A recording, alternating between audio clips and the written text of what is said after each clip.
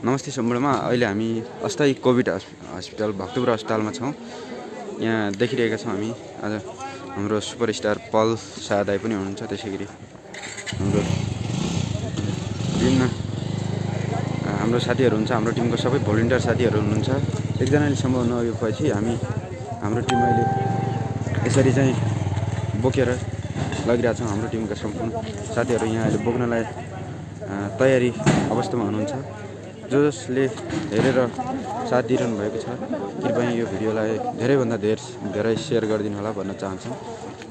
हाम्रो टिम नेपालले विगत लामो समयदेखि निरन्तर रूपमा यसरी निरन्तर सहयोग गरिरहेको छ। तपाईँहरूको घर आँगन घरतिर पनि कृपया अक्सिजन सिलिन्डर त्यत्तिकै बसेको छ भने हामीलाई सम्पर्क गर्नु होला ताकि अर्को कुनै मान्छे बाँच्न सकोस् भन्न चाहन्छौँ।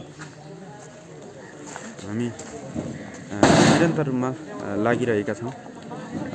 यो अभियान हामी निरन्तर रूपमा जारी राख्नेछौँ र जारी रहनेछ भन्न चाहन्छु। यो कोभिड हस्पिटलमा हिजो पनि हामीले यहाँ प्रदान गरेका थियौँ र आज पनि हामीले यता दिएका छौँ। जो जसले हामीलाई साथ सहयोग र सपोर्ट गरिदिनु भएको छ। हृदयदेखि धेरै धेरै धन्यवाद दिन चाहन्छु।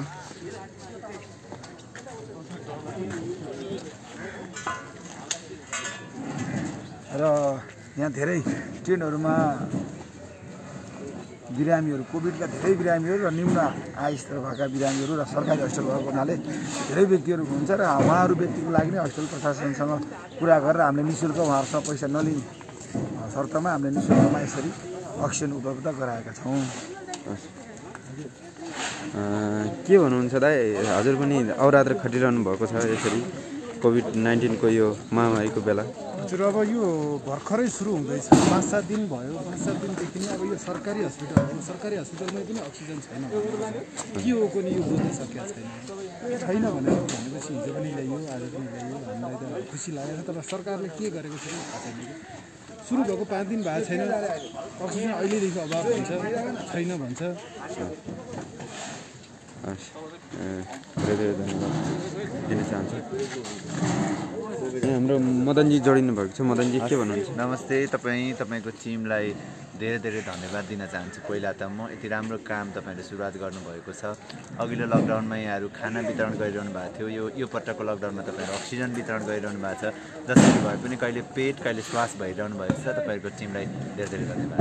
हस् मदनजीलाई धेरै धेरै धन्यवाद दिन चाहन्छौँ। र हामीले यसका अलावा अहिले नि शुल्क भोजन पनि निरन्तर रूपमा जारी छ भन्न चाहन्छौँ। निरन्तर रूपमा जारी राखेका छौँ अहिले हाम्रो यो अभियानमा साथ सहयोग र सपोर्ट गर्नुहुने तपाईँ सम्पूर्णलाई हृदयदेखि नै धेरै धेरै धन्यवाद दिन चाहन्छौँ।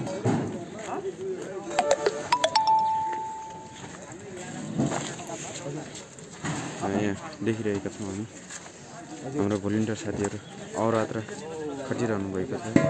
हामी खटिरहेका छौँ खटिरहनेछौँ गुड जब दाई भाइहरू हजुरहरूलाई भन्नुभयो धन्यवाद। सेविका श्रेष्ठजीलाई स्टे सेफ भन्नुभएको छ पुष्कर जोशीले। धेरै धेरै धन्यवाद।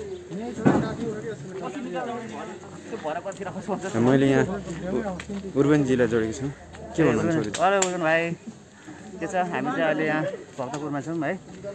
मेरो भाइ हाम्रो यो कोभिडको लागि अहिले हामी अक्सिजन वितरण आइरहेको छौँ स्टे सेफ है हस् धेरै भाइ धेरै हस् धेरै धेरै धन्- धन्यवाद दिन चाहन्छौँ र स्टे सेफ भन्नुभएको छ पुष्कर जोशीले धेरै धेरै धन्यवाद र हामी निरन्तर रूपमा लागिरहेका छौँ लागिरहनेछौँ जबसम्म हामी सहज रूपमा चाहिँ उपलब्ध हुँदैन तबसम्म हाम्रो टिम निरन्तर रूपमा खटिरहने खटिरहनेछ हाम्रो टिम त्यसै गरी लागिरहेको छ। र मैले रसु दिदीलाई जोडेको छु। के भन्नुहुन्छ दिदी? हजुर। हजुर। राम्रो एउटा मानव मानवले मानव बचाउ भन्ने अभियानमा छौँ हामी होइन? यसरी अब हस्पिटल हस्पिटलमा एउटा सासको लागि एउटा मान्छे एउटा आश हुन्छ भने जस्तै एउटा नेपाल र हामी सबैजना आबद्ध छौँ खुसी लागिरहेछ। तर एउटा यहाँ प्रत्यक्ष रूपमा कोरोनाको बिरामीहरू हुनुहुँदो रहेछ। यहाँ चाहिँ एक किसिमले एकदमै डर पनि लागिरहेछ र प्रत्यक्ष उहाँहरूले चाहिँ कस्तो भइरह होला भनेर मनमा पनि एकदम डर छ कि? त्यही भएर सबैजना आफ्नो ख्याल राख्नु होला त्यही नै भन्न चाहन्छु हस् धन्यवाद। Good job sir. हजुरहरूलाई thank you so much Umesh सरसँग कुरा भएको छ। मेरो पनि भन्नुहुन्छ कुमार खड्काज्यूलाई धेरै धेरै धन्यवाद। र मैले छोटोको लागि पल दाईलाई जोडेको छु। पल दाई के भन्नुहुन्छ नमस्ते अहिले हामी भक्तपुरमा छौँ अनि अहिले चाहिँ अब कोभिडले चाहिँ अब आफैमा प्रब्लम दिइरहेको छ कोभिडले। त्यो सँगसँगै अक्सिजन नपाएर चाहिँ कति मान्छेहरू मर्नु परिरहेछ होइन? सो सक्दो यो अक्सिजन चाहिँ ले गर्दा मर्न नपरोस् होइन? भनेर चाहिँ हामी अक्सिजनको अक्सिजनलाई चाहिँ जम्मा गर्ने र दिने काम गरिरहेको छौँ। अहिले चाहिँ भक्तपुर हस्पिटलमा छौँ। रिफिल गर्दैछौँ फेरि रिफिल हुँदैछ त्यसै लिएर हाल्दैछौँ त्यही लिएर र तपाईँहरू पनि सबै आफ्नो साइडदेखि लाग्नुहोस् केही गर्नुहोस् अ, समाजसेवा गर्नुहोस् भन्न चाहन्छु। हस् धेरै धेरै धन्यवाद दाईलाई। आफ्नो तर्फबाट आफूले गर्न सक्ने देशमा एउटा चाहिँ युवाहरूले गर्नुपर्ने एउटा दायित्व जिम्मेवारी बोध ग गराइदिनु हुन्न अनुरोधसहित उहाँ बिदा हुनुभएको छ। धेरै धेरै धन्यवाद दिन चाहन्छौँ।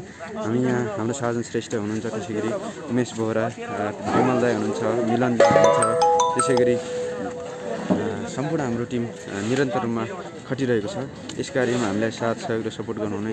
तपाईँ सम्पूर्ण स्वदेश तथा विदेशमा बस्नुहुने दाजुभाइ तथा दिदीबहिनीलाई हृदयदेखि नै धेरै धेरै धन्यवाद दिन चाहन्छौँ र जहाँ हुनुहुन्छ एकदम सेफली बसिदिनु होला। र पहिलाको कोरोनाभन्दा यो दोस्रो भेरिएन्ट कोरोना एकदमै डेन्जर छ त्यस कारणले एकदमै सेफली बसिदिनु होला भन्न चाहन्छौँ र हाम्रो टिम नेपालले यसका अलावा यसका अलावा निरन्तर नि शुल्क खाना पनि वितरण गरिरहेको छ भन्ने जानकारी दिँदै जहाँ हुनुहुन्छ स्वस्थ हुनुहोला एकदमै सेफली बसिदिनु होला भन्दै अहिले हुन्छु धन्यवाद शुभ दिन